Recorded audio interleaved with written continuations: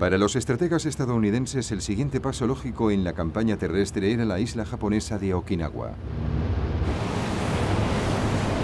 Se hallaba solamente a unos 550 kilómetros de las islas que formaban el corazón del archipiélago japonés. La isla estaba defendida por más de 120.000 hombres. El comandante japonés, el general Mitsuru Ishijima, estaba decidido a convertir Okinawa en un cementerio para las fuerzas estadounidenses.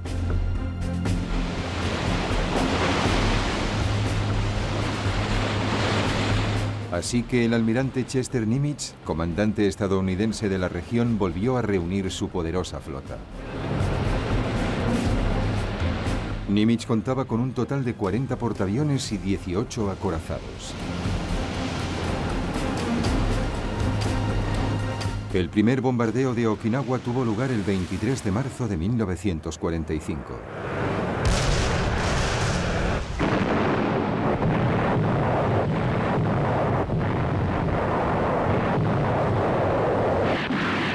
Y se prolongó durante toda una semana.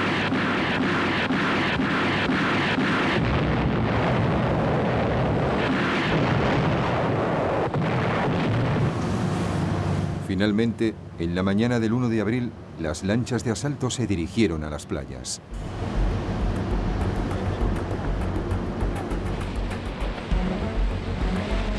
Para su sorpresa, casi no encontraron oposición.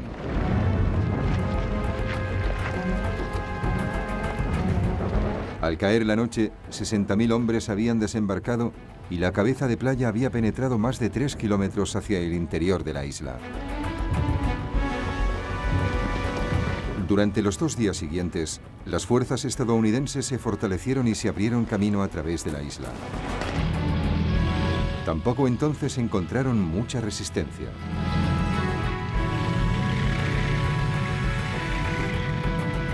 El 4 de abril, los defensores japoneses habían quedado divididos en dos grupos.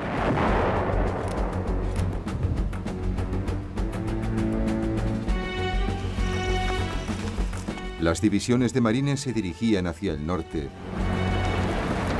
mientras que algunas unidades del ejército se abrían paso hacia el sur. Los marines seguían encontrando solo una resistencia esporádica y en menos de tres semanas habían despejado la zona norte de la isla.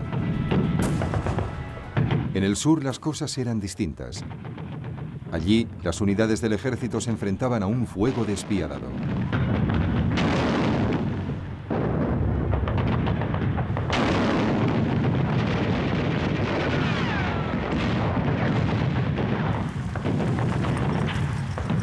Durante 10 días, los japoneses aguantaron su línea defensiva.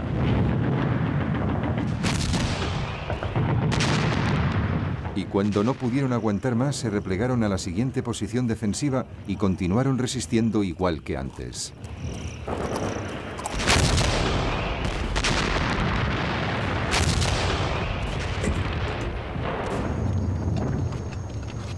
Mientras tanto, los japoneses también se preparaban para lanzar un ataque aéreo sobre la flota de la invasión. En la madrugada del 7 de abril, un grupo de pilotos kamikazes se reunieron para su ceremonia ritual, que incluía la bebida de una taza de sake, y subieron a sus aviones por última vez.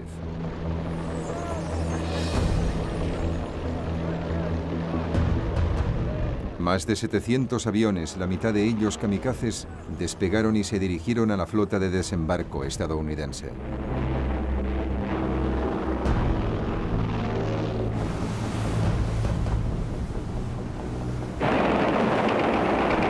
Una línea de destructores equipada con radares que operaba a unos 80 kilómetros mar adentro fue su primer objetivo.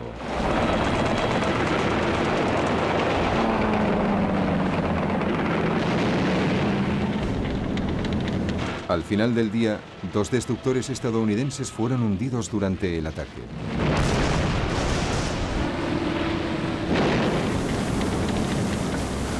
Y 24 navíos habían resultado seriamente dañados.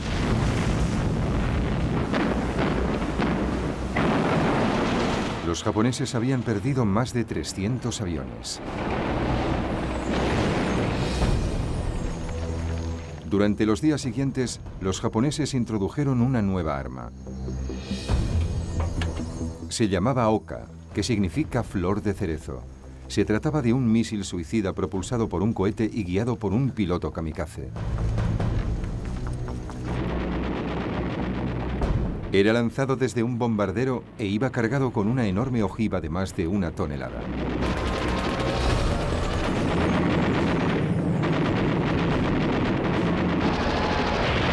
12 de abril, otro destructor estadounidense fue tocado y hundido.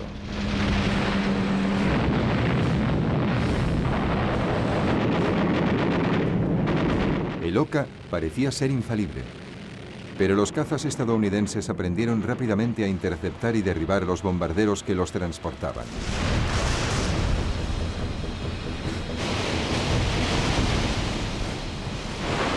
Desesperada, la Armada japonesa envió entonces su propia misión suicida. El Yamato, el acorazado japonés de mayor envergadura, fue aprovisionado solamente del combustible necesario para alcanzar Okinawa y se le ordenó que luchase hasta la muerte, hundiendo tantos barcos estadounidenses como le fuese posible en el intento. La gigantesca nave fue detectada mientras se acercaba a Okinawa. Y unos 400 aviones estadounidenses cayeron sobre ella. En menos de dos horas el poderoso Yamato hacía explosión y fue pasto de las llamas. El fuego se pudo ver desde más de 160 kilómetros.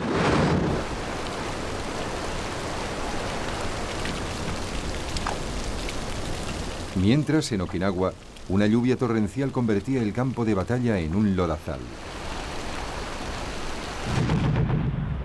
Durante más de un mes, las tropas estadounidenses combatieron para abrirse camino hacia el sur.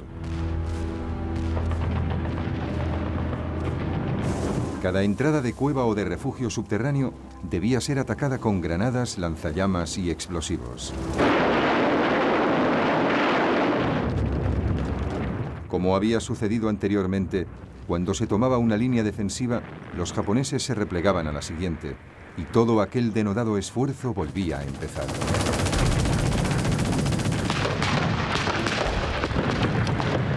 El número de bajas estadounidenses aumentó rápidamente.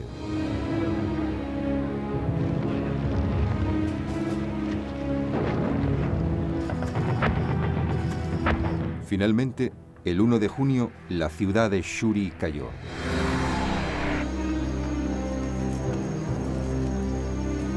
El 4 de junio, un nuevo contingente de marines desembarcó al sur de Naha, la capital de la isla, y enlazó con las tropas que se abrían camino desde el norte.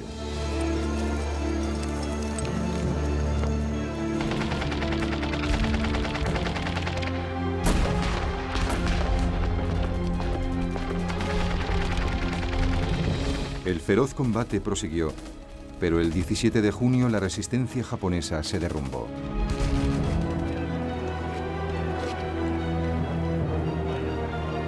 Cinco días después, los estadounidenses consolidaban por fin su supremacía en Okinawa.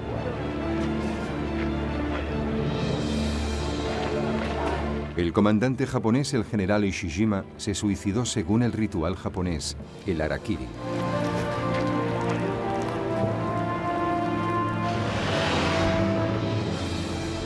Los estadounidenses hicieron más de 7.000 prisioneros. Era la primera vez que un número tan elevado de soldados japoneses se rendía. Había sido una campaña sangrienta y acotadora. 100.000 soldados japoneses habían muerto en combate y unos 40.000 civiles habían sido víctimas de la guerra.